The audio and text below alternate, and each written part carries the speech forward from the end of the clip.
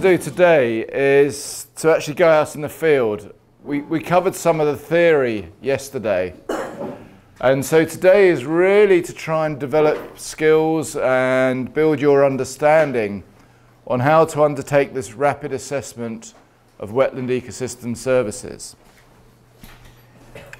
So one of the objectives of the day is to make you realise that different types of wetland perform different benefits for society. And this will be the same in your countries.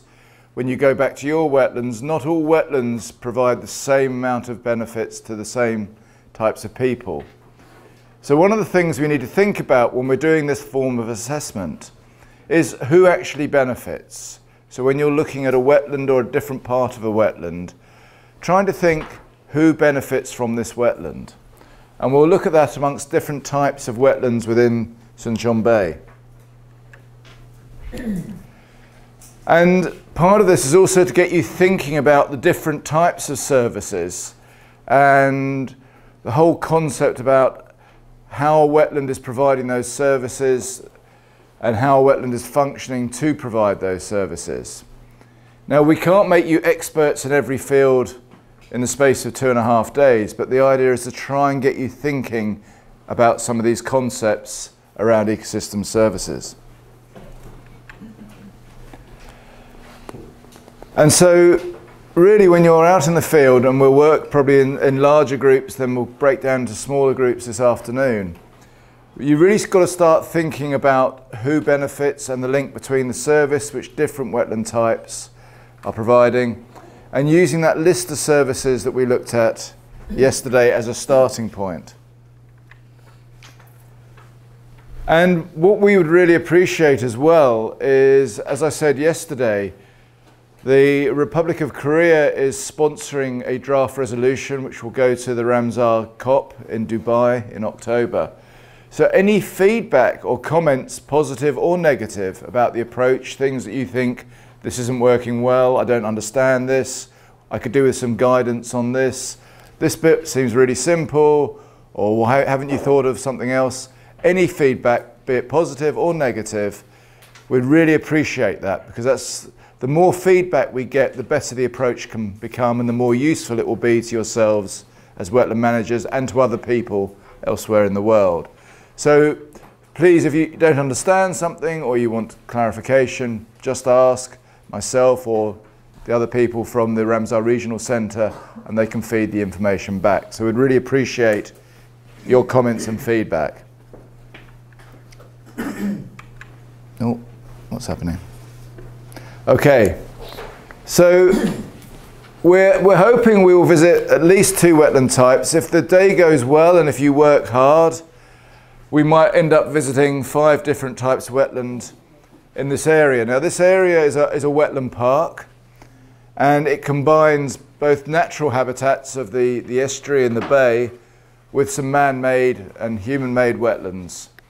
So there are rice paddies which are managed for conservation and we can, we'll have a bit more information about them when we go to them.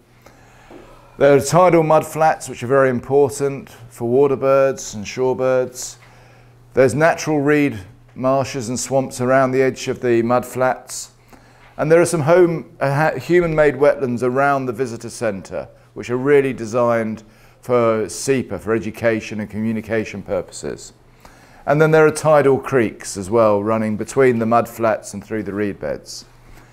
And we will hopefully go out and do an assessment of hopefully all five of these types of habitat.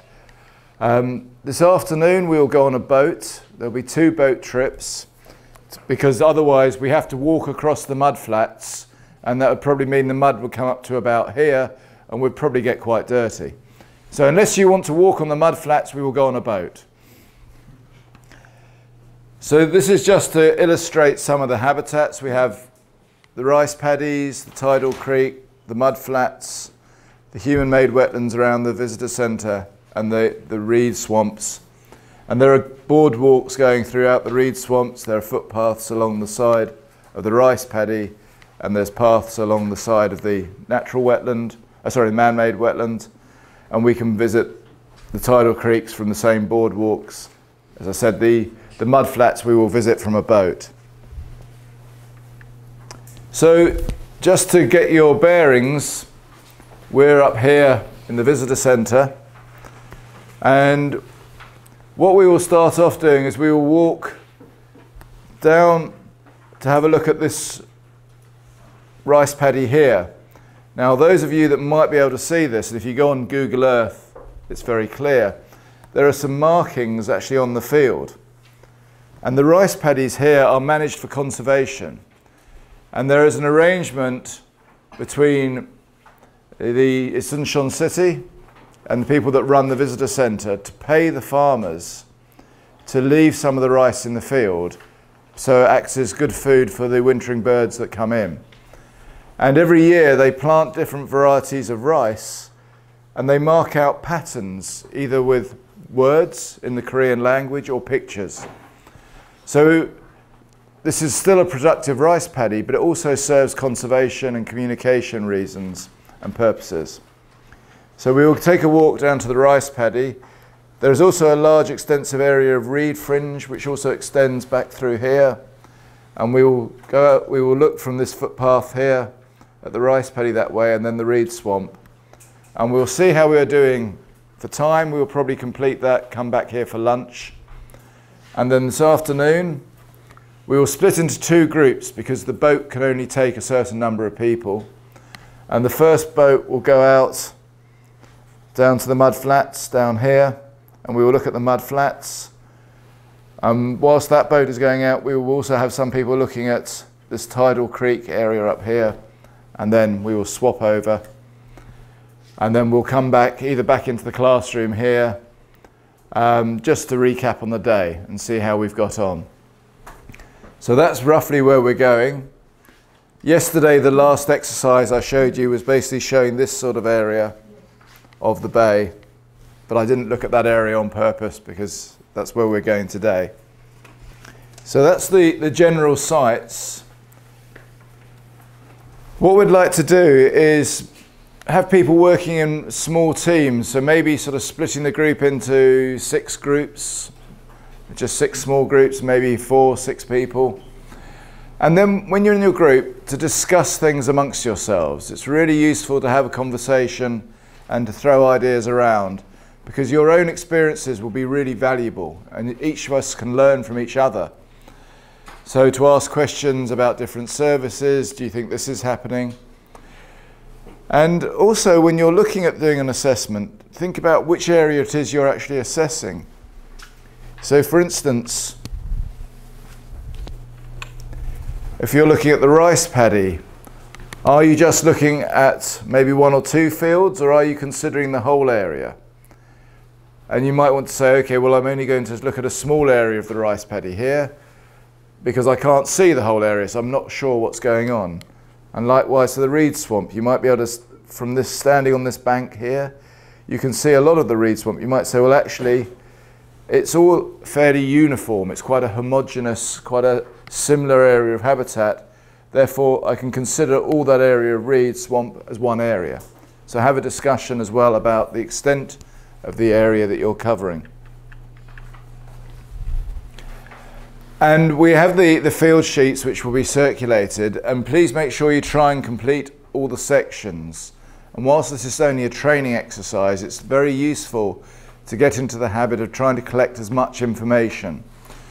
So assessing all the services, and if you are going to break the services down, I, I stressed yesterday that the list is just a guide. It, you don't have to use everything on that list. You can subdivide things. So when it says food, for the rice paddy, you can actually say rice rather than just food. When you're looking at the mud flats, we might see fishermen out there, we might see people collecting other um, animals. So you might want to say shellfish or fish. So try and make it as specific as possible and then complete the section. So in the comments, what evidence did you see? So uh, who do you think is benefiting? And make sure you complete the sections on not just the scoring, but also the scale. Is it local people? Is it maybe a regional value or is it an international value? And we'll make sure we have everything with us. I don't think it's rain today, but now that I've said that, it probably will rain. So if I say it's going to rain all day long, it will be sunny. Um, so again, make sure you have um, the, the, recording sheets with you, pens, pencils, etc. And if you have sun cream or hats, if you need it. I definitely need sun cream because I have no hair. So I've already put cream on my head. I, I think uh, even bottled water. Yes, I think water is very important, and I know uh, Xiongbu and uh, Hannah have handed out some water. So, but we will get a chance. We will come back to the centre for lunch, and we can have something to drink here as well. But yeah, water is important. Uh, and also there are bathrooms as we go round, but if people want to use the bathroom before we leave, it might be an idea. There is a bathroom near this building. So that, that's the approach. Um, so we will leave the, the centre now and we will walk, and it will take us maybe 10, 15 minutes to walk down to this bank down here. Um, Mr. So, is there anything you want to add, Norman? Is that that seems fine? Um, oh.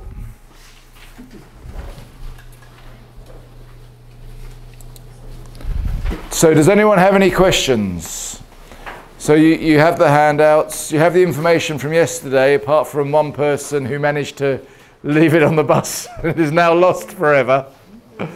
Um, we will have recording sheets. What I suggest is when you're in groups, is maybe one person does all the recording and the other people talk. But if you want to write information yourself, feel free.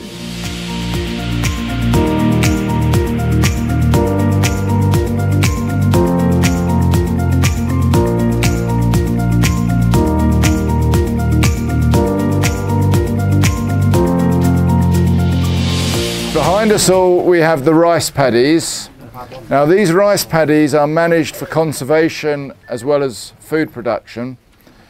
This time of year, we can't see it, but if you were here when the crops were growing, they plant different variety of rice. So you, and they set out patterns, which might be a bird or crane flying, or it might have a message written in the Korean language. And so if you come here when the rice is growing, you can see the different colours. And there's an agreement with the local farmers that they leave some of the rice in the field so that the cranes which come here can come and other other birds can come and eat in these fields. So they harvest some of the rice themselves, but a lot of it they leave. Um, and they get, they get the farmers get paid by the city for the conservation management. So the farmers are re still rewarded for growing the rice, but instead of selling it for food, they basically sell it to the birds as food. In terms of the water, on this side we have brackish and saline water. So this creek you can see, this channel goes out all the way down to the estuary, which is over there.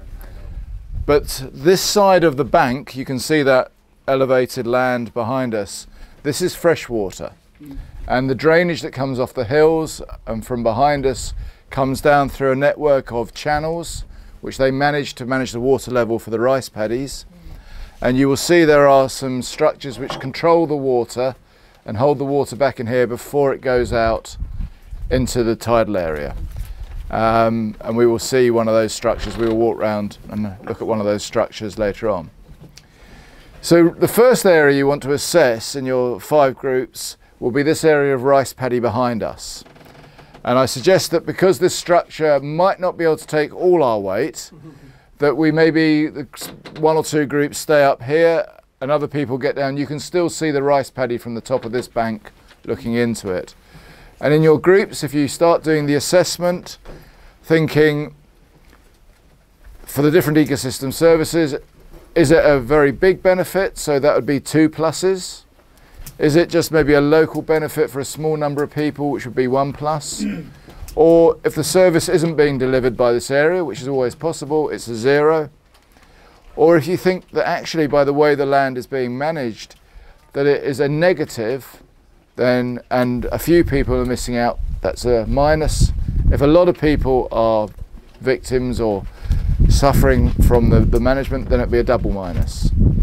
Or if you're not sure, put a question mark. So if you go down the actual assessment for each of the services and think about each service, and if you want to, you can change the language if you're not quite sure. So where it says food, you might want to replace food with rice production. Um, and then think about the scale of the benefit. So who benefits from this? Is it just local people that benefit? Is it maybe more widely across a greater, larger region? Or is it maybe a global importance? And so, for instance, for something like education, the visitor centre that we are at, and this is all part of the visitor centre, people use this walkway.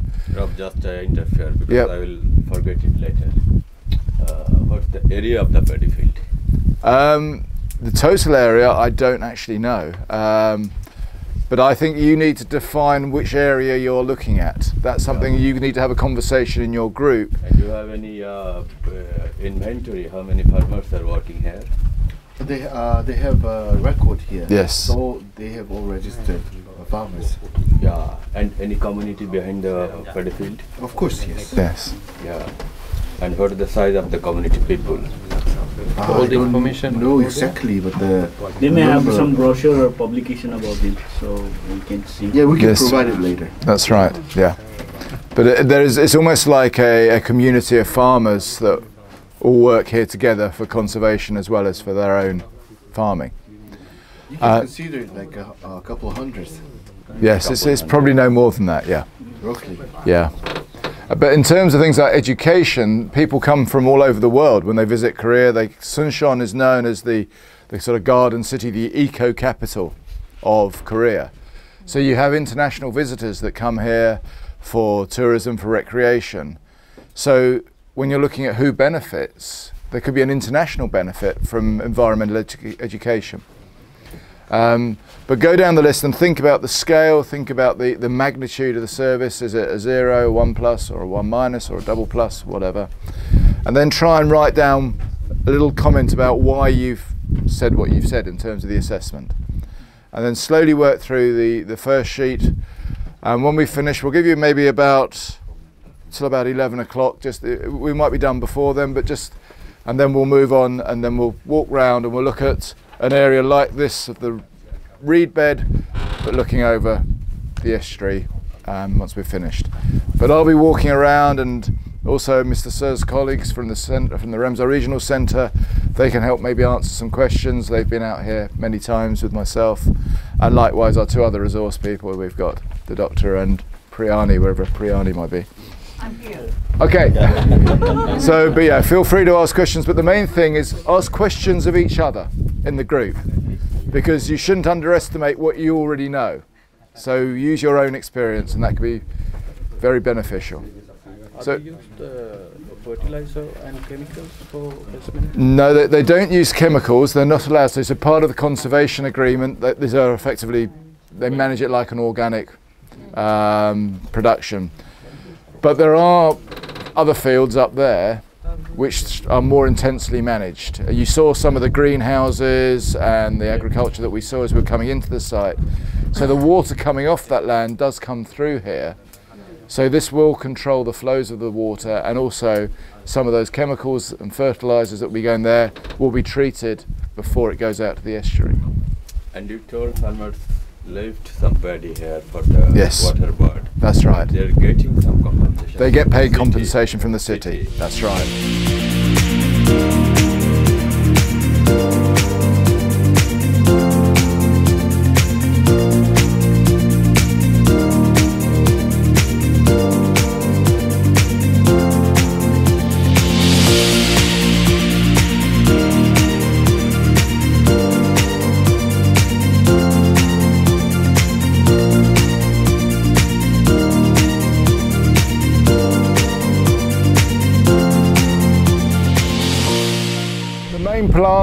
Common reed, Phragmites australis, and this area is it's not freshwater, but it's not saltwater. It's more brackish in between, and so the tidal waters will flood through the reed. So on high tides there'll be water in the reed, and then obviously on low tide the water drains down. Phragmites australis can't tolerate very high salinity. Um, So that's why it's a good indicator that this is still relatively fresh water, but then we're very high up the estuary. And you'll see this afternoon when we go out on the boat, we'll go right out onto beyond the salt, uh, the mud flats, beyond the end of the reed bed. So this area is very important. It's important in terms of its biodiversity. It provides a very good nursery ground for fisheries, and there's a lot of fish caught out in the bay. Um, it also buffers against storms, so it's a very large um, width of reed bed. So if there's high uh, storms, spring tides, again this absorbs a lot of the energy from that and protects the shore.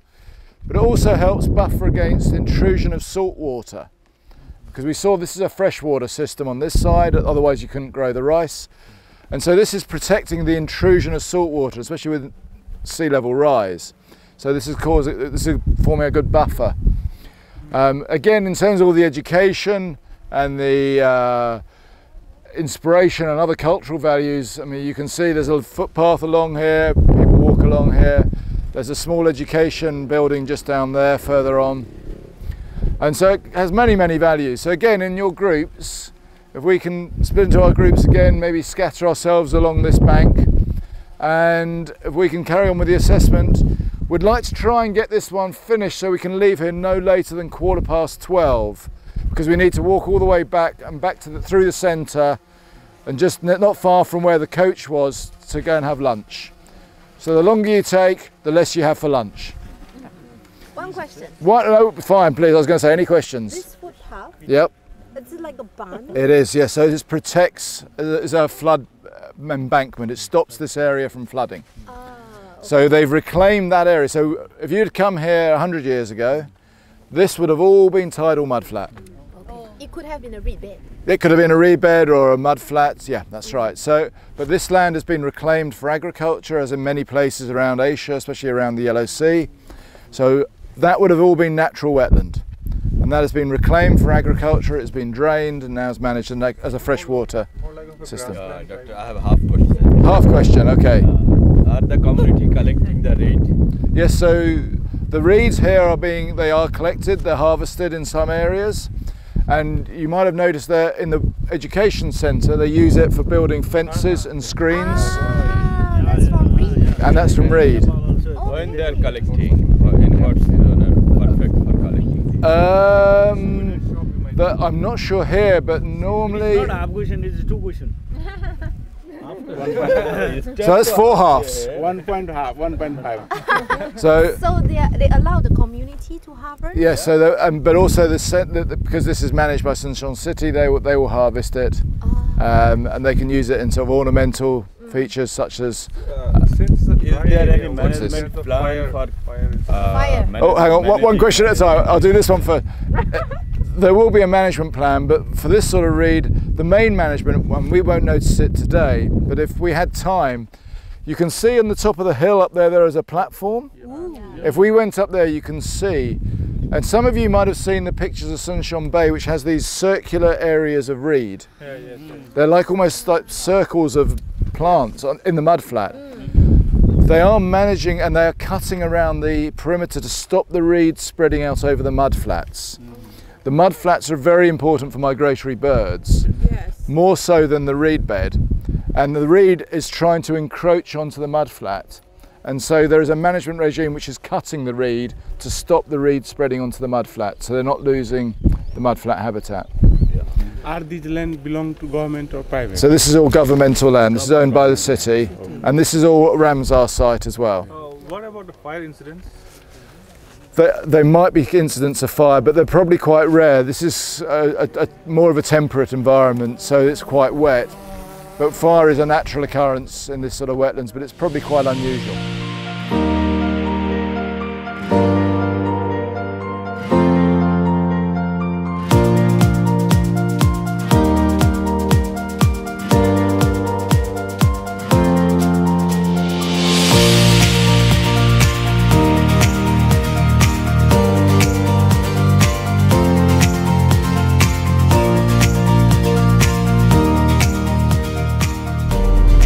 Split into our teams, maybe on the boat, maybe some go out the back, some stay in here, maybe some go outside, and we will look out across the mud flats.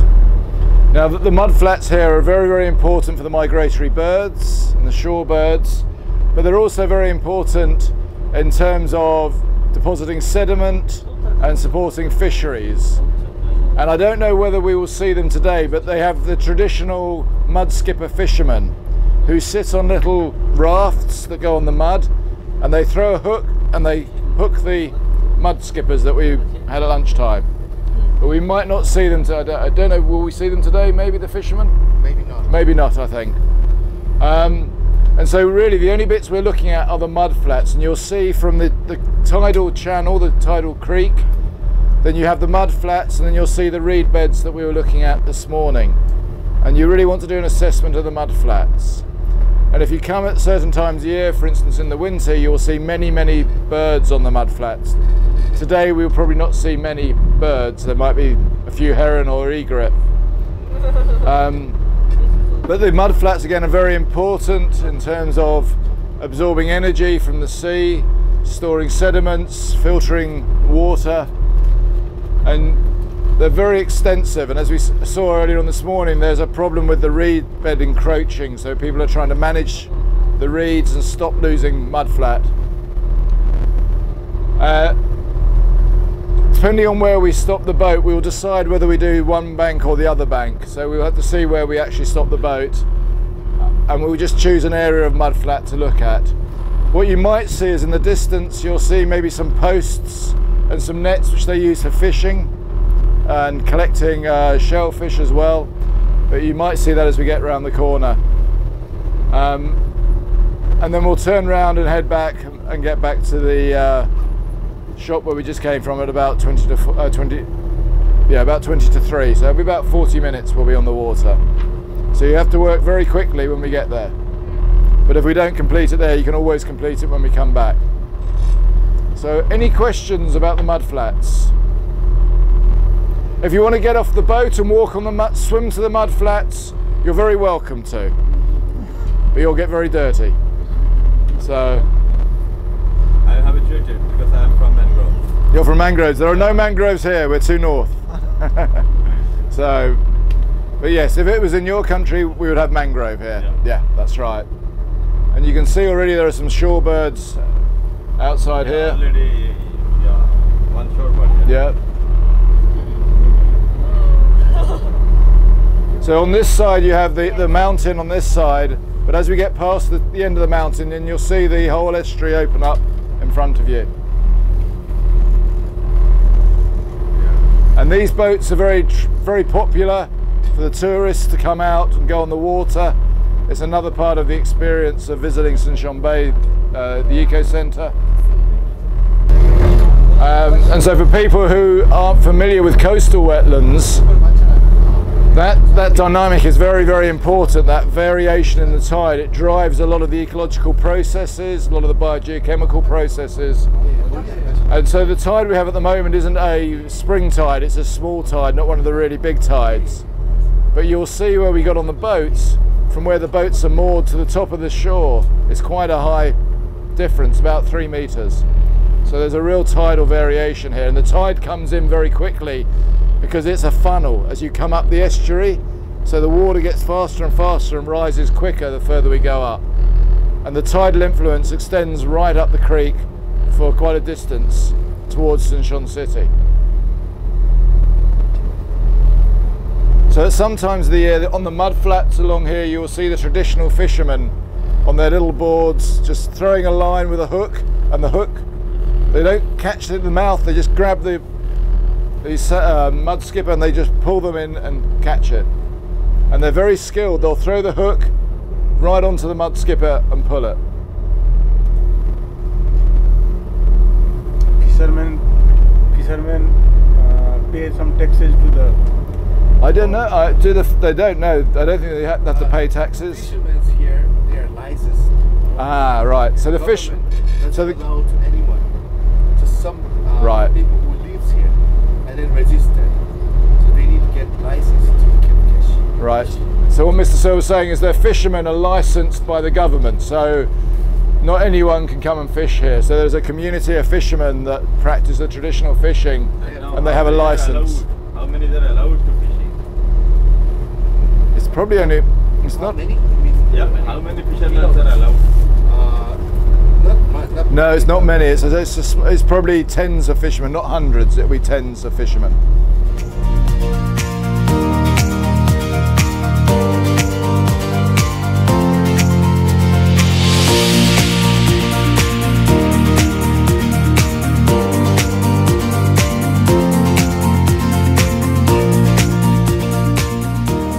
So, whilst group five are on the boat, what I'd like you to do in your four groups look at the channel.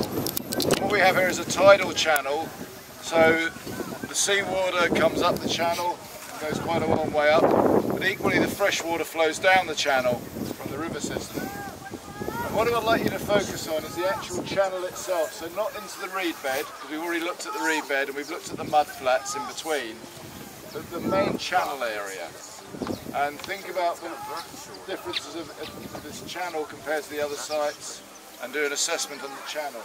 You might want to look a little bit up the channel up there, that's just another arm that comes down from that area, sediment up there. So if you look at the main channel and a little bit of that channel and do the assessment on that as a different type of habitat. Because what we're looking at here is we've looked at different types of habitat which are all part of the same Ramsar site but we're looking at different habitats and what we'll do tomorrow is we'll look and see to different types of wetland even though they're part of a larger wetland complex these different types provide different services so different people benefit from different parts of the wetland. Is that clear? Can we trust you on your own to do the assessments without us going off on the boat? So when we're on the boat, you'll know what to do. So what you can do, one group might want to go down there or even two groups, you can actually, if you walk down off the boardwalk, you can come underneath and you can sit down. Even though this looks like an old boat, it is actually a seat, so you can sit down there, or you can stand up here and do the assessment. So, any other questions? In, terms of the channel, the water levels fluctuate, so on low tide they're low and the flow is dominated by fresh water. As the tide comes in, the water level rises up and spreads out into the reed bed, um, and it's dominated by tidal water. You do get some fishing up here, so there are some fishermen that fish in this area. Um, and obviously you have the tourist boats, so people are, the tourist boats do go a little bit up there. And all the, the drainage from the city and from the wider catchment obviously all runs down this channel going out to the This is the water seat area. No, not, not the wider area, just, just the channel. Just the channel. So if you think about when we were looking at the map yesterday, and I had a, a picture of a, a sort of coastal wetland system, there was a channel and there were the mud flats either side of it. Here you're just looking at the channel. So you're trying to focus on the channel. Okay, any other questions? Why do the, the, the other side, side Right. I mean, if you were in there, they would look the same. It's only because you're looking at an angle, you're looking at the reed heads. It's because we're above it. Yeah, it would be exactly the same. So what you have here is the the very sort of light grey, light, very light brown colour is the dead reed from last year. And this is what we have now. This is this year's young growth. Okay, just a bit of background. So this is a tidal creek, so at low flows, uh, most of the water is actually fresh water coming down from the city and from the catchment. And then the water level might vary by maybe two or three metres. And then you get the influence from the sea of the coastal waters coming in, and that's why it's a very brackish. It's neither fresh nor salty. And you'll see as we go around that the mud flats are very, very extensive. At the moment they're quite narrow, they're maybe only 50 metres. And when we go around the corner you'll see there's vast extents of mud flats which get exposed at every low tide. They're incredibly important for wintering birds, passage birds coming through. But they're also important for fisheries and unfortunately this time of year you don't really see the traditional fishermen that fish on the mud flats and they sit on little boats and they basically just throw their hook and and basically catch on the top of the fish and pull the fish. But you'll also see as we go, and you can start seeing now, there are some sticks stuck in the mud of the mud flats, and that's they use those for fishing and for shellfish and catching other and setting nets to catch fish. How do they catch shell, shellfish with? Well, no, they, some of this, they do some shellfish where they'll actually the shellfish will actually attach themselves to the post and things, and then they'll take the whole post. Um, and in this area, this is the area where the government are trying to stop the reeds from encroaching on the mud flat. And so the, these mud flats are really important in terms of storing sediments. Um, they do, in some areas, they get a um, algae forming on top of them, uh, so they get quite extensive areas of algae. But also, some other- areas around here, people collect the mud from the mud flats and they use it in cosmetics to put on their face. Yeah, they collect the mud, put on your skin to make your skin look beautiful like mine, which makes me look so young. It makes me look like I'm in my 20s. Really? You want to take some mud from here to your country? So you can see now the mud flats are very extensive. And if we was to go beyond that far point, it goes all the way around. No, no, no, no. I'm not joking. No, no, no, no. No, seriously. Serious. Yeah. And so if you can start doing the assessment, but focus on the mud flats, so from the edge of the water to the edge of the reed. Okay? Right. Team leader, take charge.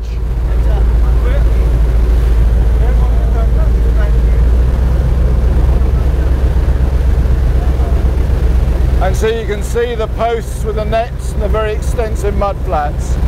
So no one lives out here, but there are fishermen and a fishing community that come out here.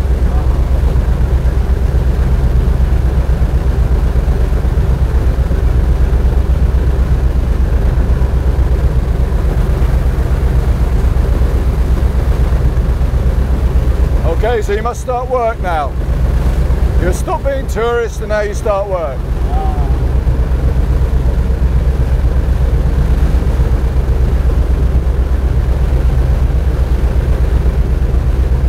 And so in winter there are many thousands of cranes. Right. Yeah, that come out here on the mud flats. Migratory. Yeah. So they migrate up to Siberia, come down from Siberia, and they overwinter down here. And they will come out on the mud flats, they'll go and eat on the rice paddy. What is the name of this? It's a grey heron. Grey. Grey heron. Okay, so this is the next site we're going to undertake the rapid assessment on. This is obviously a human-made wetland. This is quite a young system. It's probably only about three to five years old. But it's very important in terms of public awareness, education. So people come here, there are trained uh, staff members who do pond dipping. They take out insects, show the public, describe the different animals, different taxa. Um, so it's very important in terms of education. It also takes a lot of the drainage water from this surrounding area, which comes and gets stored in here, and the water then drains out down the far end into another sort of series of ponds and then back into the drainage system, which ultimately will go out through the rice paddies to the estuary before uh, beyond.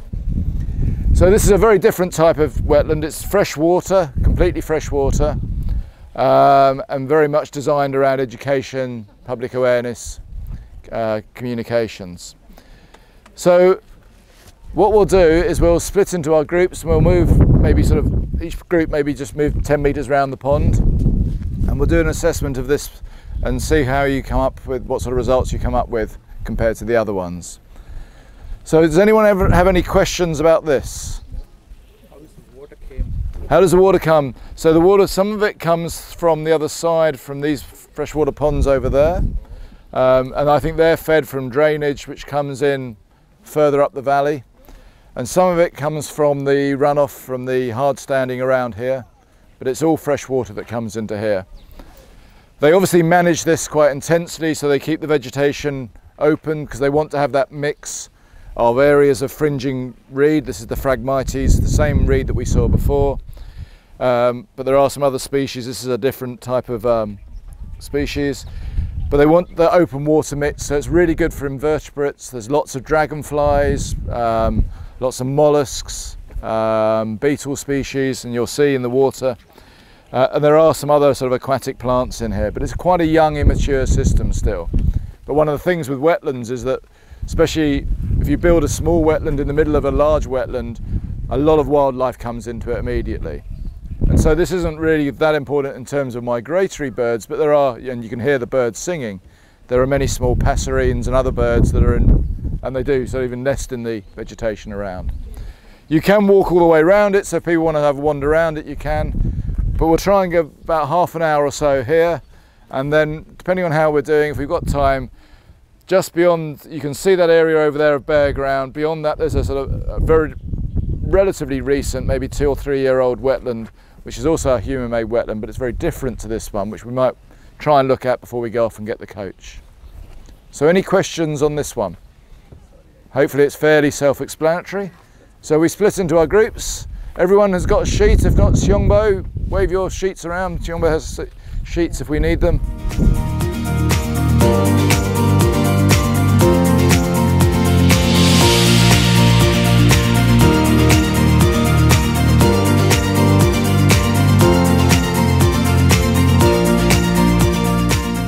Okay, so this is our last site. You'll be very pleased to hear that. Um, we've just looked at one human-made wetland. This is another one that's behind us, and you can walk around the whole area. This um, used to all be car park. And what they've tried to do at the centre is to reduce the impact of traffic. So make people use buses, such as these ones, and park, stay in the city or get a bus here rather than drive here. So the visitor centre actively tried to reduce the amount of car parking to make it harder for people to come here in private cars. And they converted this, which was all car park, into a wetland. And the wetland is behind us. This was built maybe three or four years ago. And if you go down the far end, you can see it takes drainage water from the agricultural fields further up the valley. So basically between here and the city, as you go up the, the river, most of the floodplain is being converted into rice paddy and intensive agriculture for vegetables. Um, and so all the drainage comes down through a network of drains and small channels. And at the far end, some of that water gets diverted into this wetland here and then goes out of this wetland either directly to the creek or into this small area, which was once reed bed, but about a year ago got dug out and has been turned into islands. But this was all once reed bed. So the area we want to look at is this man-made wetland here. As I said, it, it takes the drainage from the agricultural fields before it goes into the creek. And also it takes the drainage from the car park as that runs off. So when we get heavy rain here, that ends up in the wetland. Again, it's a very young, sort of immature system, but it's slightly different to the other pond in the fact that not many people come here. Most people might use the restrooms here, go to their car, but very few people actually bother walking around here. There is some car parking still, but it's only on very, very busy days that people park here. So in terms of the human interaction, it's very different to the previous one. It's not designed with a photo point, it's not designed with seating next to it. Um, so it's a, a slightly different type of wetland in terms of human-made wetland. In terms of the wildlife, it still attracts some wildlife. They've put in islands. The idea is to try and get birds to nest on the islands, but I'm not sure whether they've been successful. I personally, I think the islands have been badly designed and not very attractive for nesting birds. And they've planted several trees and several different species of plants. But you still get quite a lot of um, dragonflies, um, other uh, amphibians such as frogs in here and then many other sort of uh, invertebrates in the water course. So that's really it. So this is our last one. So again, I think if we, if, what I would suggest is the groups is maybe sort of take a little walk around it, and then if you want to come back and sit in here to do the assessment, um, that might make more sense. Um, anyone wants to use the restrooms, they're there before we get back on the bus. But if we have maybe sort of 20 minutes, half an hour, that should, do you think that should be enough? It is quite It's all fresh water, yeah. It's fresh water, yeah.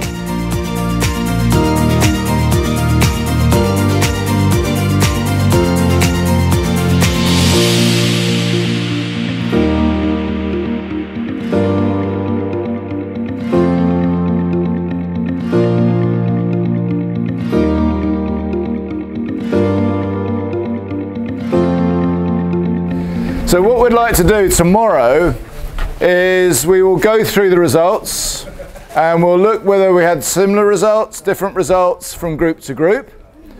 And we'll have a discussion amongst us why one person, one group might have said that was two plus and another group might have said that's a one minus. And if we can't decide it, we have a fight and we say whoever wins the fight, they get the score. So we will have a decision tomorrow. We'll go through the different assessments and we'll also look at some of the lessons you've learned, things that you thought worked well, things you think could be improved, things that you're maybe unsure about. Um, and what we'll try and do is we'll try and summarise all the different wetland types we've got and try and get a consensus amongst the group that we think that seems to be the right score for the different wetland types. And then we'll have a look at the wetland types and say, well, are different wetlands performing, sorry, my phone is ringing, are different wetlands performing different ecosystem services? And if so, why? What is trying to understand that a bit better? And then what I'll do is I'll go through a little bit more in terms of how you can ana- analyze and present the results, and I'll present a few case studies from different places in the world, uh, from Sri Lanka, from Myanmar, and from other, some other locations. And that will basically be pretty much my session in the morning, and then the afternoon, I think we have some more time for some other people to make presentations and to have some more general discussions about wetland management and how RRCEA can help delivering wetland management and uh, implementing the convention in your countries. So that's myself. So over to you, Mr. Sir. Unless there's any.